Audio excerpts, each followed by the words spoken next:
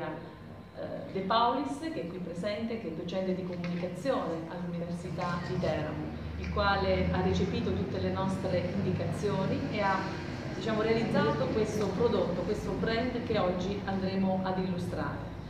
E noi siamo veramente convinti che investire nel, in maniera strutturale, sistematica nel mondo digitale porti veramente, realmente a innalzare quella che è la qualità dei servizi del nostro territorio. E pertanto che abbiamo voluto scegliere questo brand, Go Alba Adriatica, un brand fresco, giovane, per il quale che identifica perfettamente la nostra, la nostra città, una città che da poco ha compiuto 60 anni.